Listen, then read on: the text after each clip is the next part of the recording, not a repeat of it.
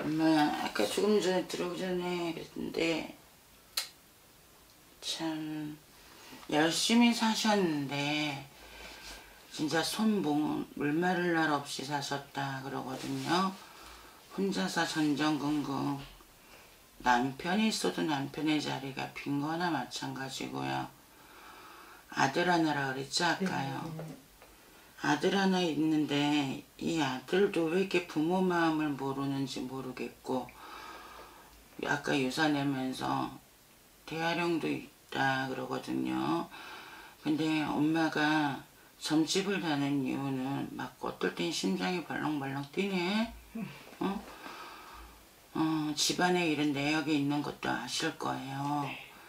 그래서 그게 아들한테 오나 더 전전긍긍 하시는 것도 있어요. 근데 왜 언니도 어디 가면은 신간물 있다. 그래서 네 팔자 이렇게 된 거다. 근데 안 가고 고집으로 눌, 아, 예.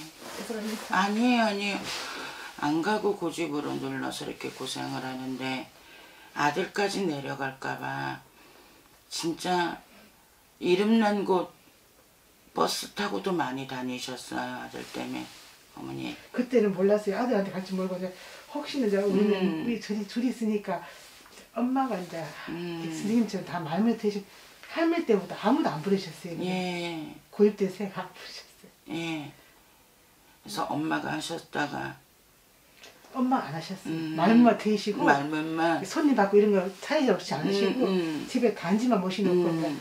하루 당신 그러는 건데 음, 말만 되게 근데- 잘하셨어요 엄마가. 예, 언니도 급기 내려온 거 아시잖아요. 근데 엄마가 살아선지는 맨날 저한테 저기 뭐저 자식이 뭐- 저희 집은 사남매인데 다 있다 그러시더라고요. 근데 우리 막내 남동생이 좀, 좀 그게 강하다고 막. 예. 다 있긴 다 있는데. 그래서 예. 저도 결혼했으니까 남편 음. 출가 예의 되잖아요. 음. 그래서 엄마가 돌아가실 때 맨날 당신 다 가지고 가신다는데 돌아가시니까 더 자식들이 안 되더라고요.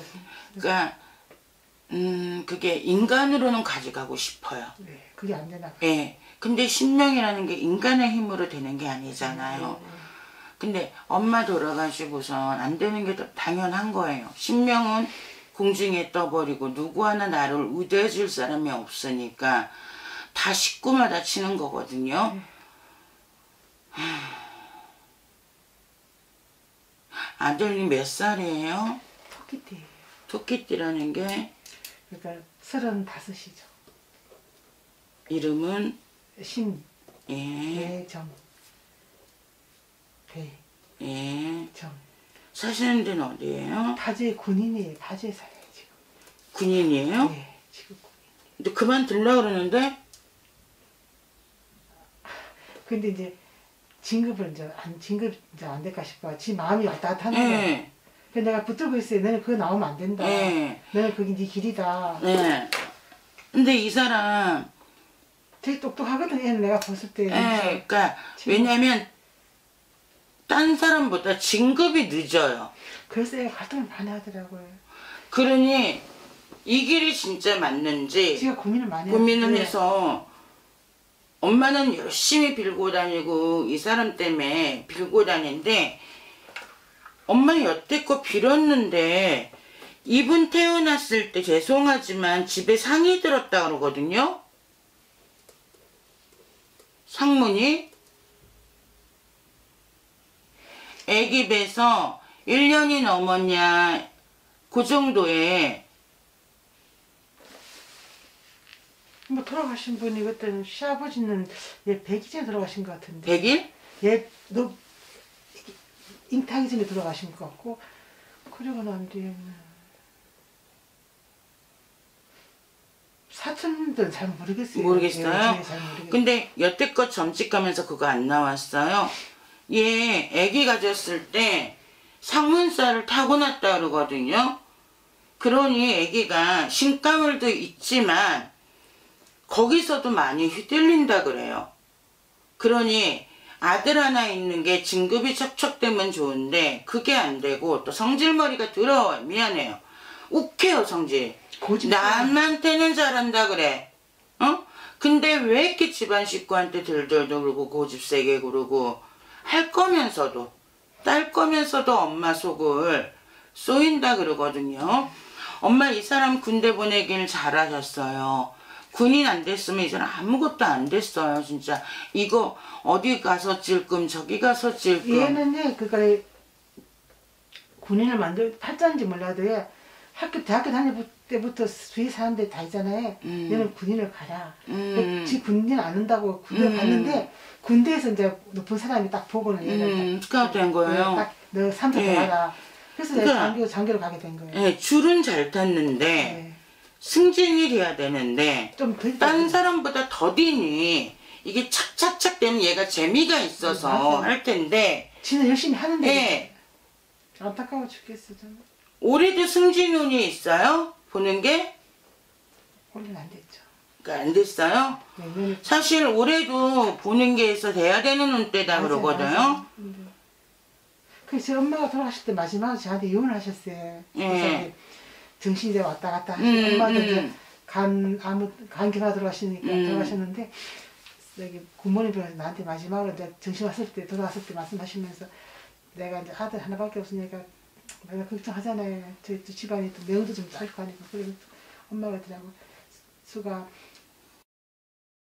운 때가 더디다 가면서 속상해하지 말라더라고 엄마 얘는 남들보다 넓게 운이 트인 있는 운이니까 그냥 속상해하고 마음 끓이지 말고 그냥 무르듯이 그냥 마음을 비우라 하더라고요. 그리고 네. 늙 이제 나이가 이제 얘가 사, 30 후반이 돼야만 이제 지 제대로 이제 운을 타니까 딱 엄마 사, 사실 이제 저한테는 매번 저를 미워하셨어요 엄마 같은 네. 신이라서인지 몰라도 엄마 진짜 미워하셨어요. 음. 계모보다 더 했어요 저만 저, 저한테 근데 생진한테 엄마한테 그런 거안 물어봤어요 내 팔자에 대해서 물어보지도 안 했는데 아들에 대해서 그 말 한마디 하시더라고 그러니까 네가 속상해하지 말고 앉아박다 하지 말고 떨어져 살아라 하더라고 아들아 음. 그래야만이 니도 좋고 자식도 좋다 그러시더라고 그래가지고는 그 계속 그게 머리 남아 있었어요. 얘가 군이 돼가지고 이렇게 진급이 안 될 때는 또 마음을 피우고 아들이 많이 흔들리더라고 마음.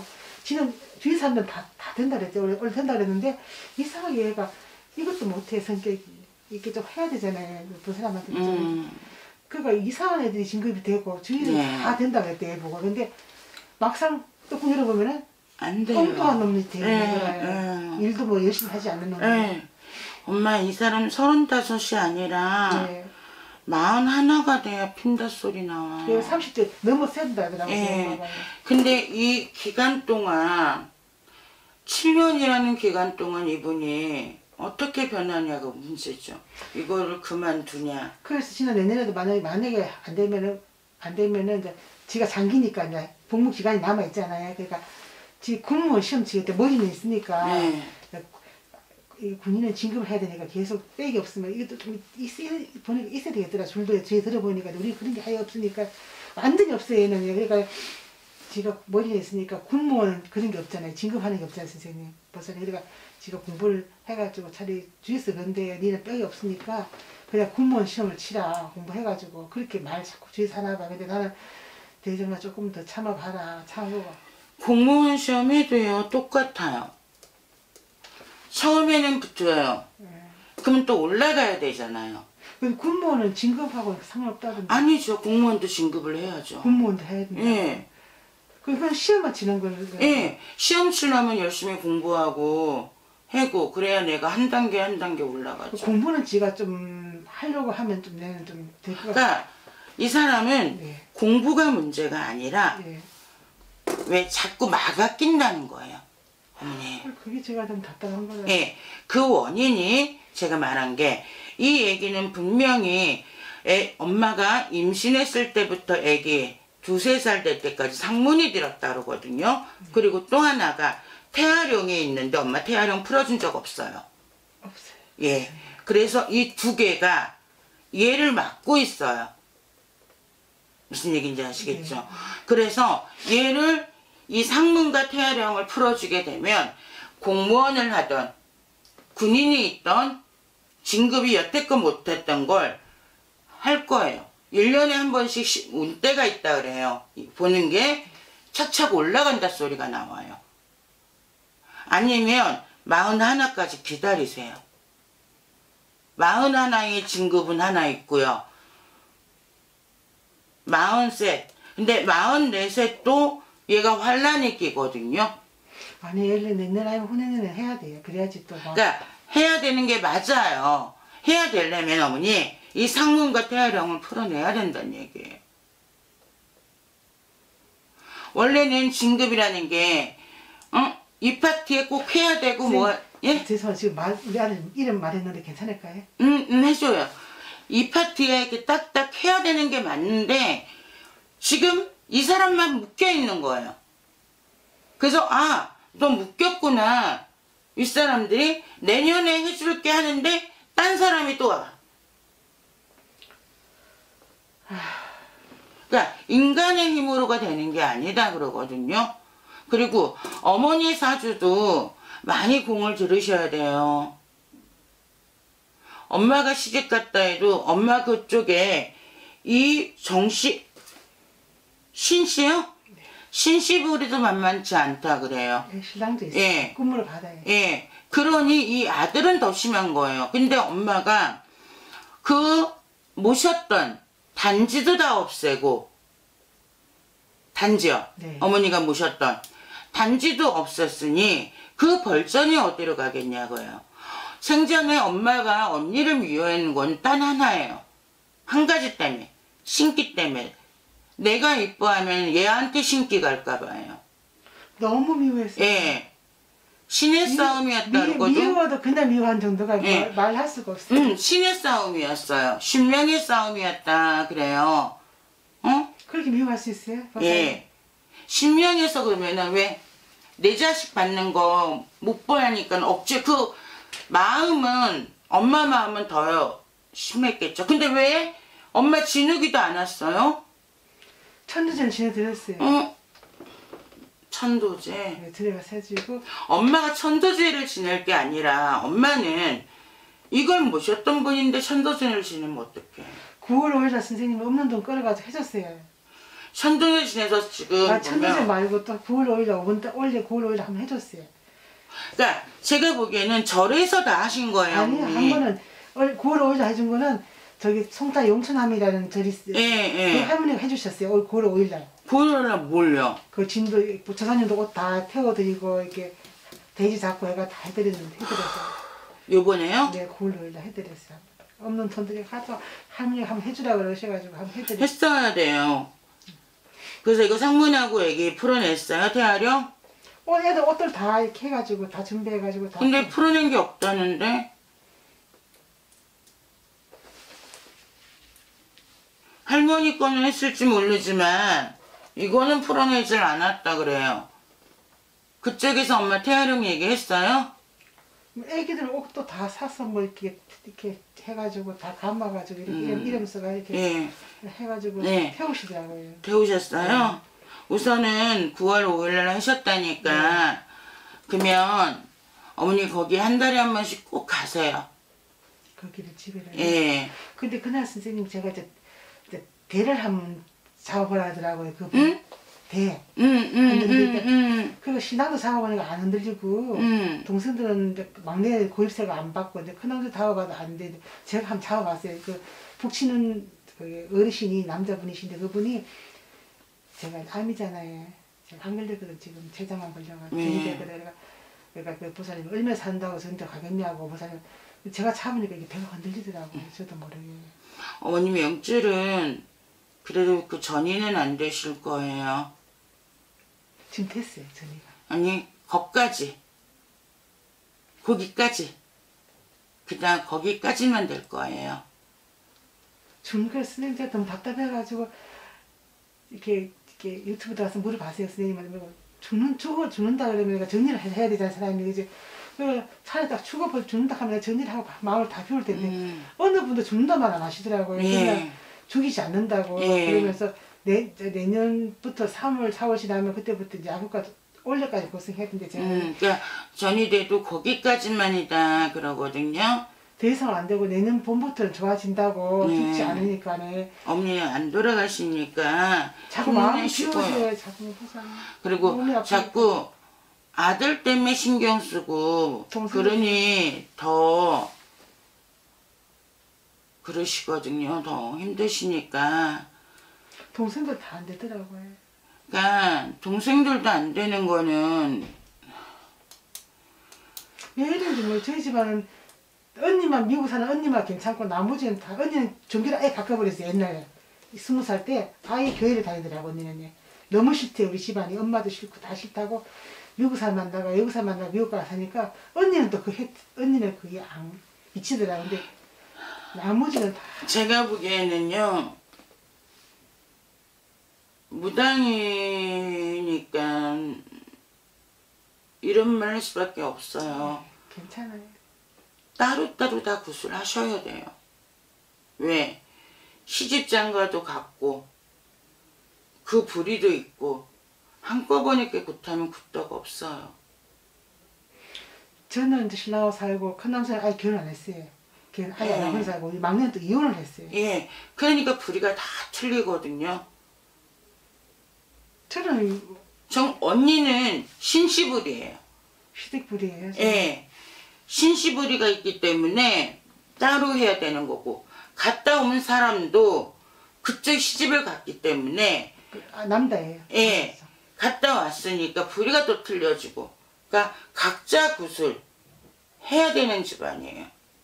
그래야만 풀려나가요. 저 한꺼번에 모여서 아, 선생님 어떤 사주예요? 제 사주는요. 이렇게 평생 이렇게 일만 하고 맨날 이렇게 아프고 아니에요. 고생 다 하셨고 그 9월 5일 날 일하셨잖아요. 그러니 2년 동안 거기 잘 꾸준히 다니세요. 예? 돈 없으면 그냥 그냥 가서 절만 하세요. 꼭 뭐 사오란 얘기 안 하시잖아요. 안 해였습니다. 예. 그러니까 초하루가 되면 가서 절 세 번 하면서 내 새끼 도와달라 그러고 1년 약간 넘어서 엄마가 2년만 제대로 공들이면 괜찮으실 겁니다. 전 선생님, 선생님 저는 몸은 더 이상은 나빠지지 않겠어요. 예. 데스대 명은 치신 것 같아요. 그러니까 힘내시고 거기 꼭 다니세요. 어디 이제 돌아다니지 마시고요. 금방 죽진 않겠어요, 선생님? 예? 금방 죽진 않겠어요. 네. 진짜요. 네. 나을 수 있겠어요, 병에? 네. 치료하면요? 그러니까 전이는 더 이상 안 된대요, 어머니. 예? 그러니까 너무 저기 하지 마시고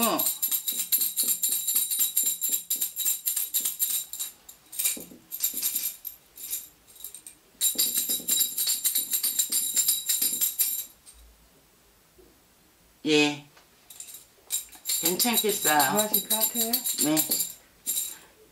그러면 저기 선생님 태아령하고 애기 있잖아요. 음. 그거 이제 우리 아들 그 그걸 풀어주면 어떻게 풀어주면 되는 거예요, 선생님? 음, 이거는 뭐 큰 굿이 아니에요. 예, 예. 조그맣게 풀어내는 거고요. 예, 예. 그거는 카메라 끄고 얘기하면 되고요. 네. 아셨죠? 네. 예.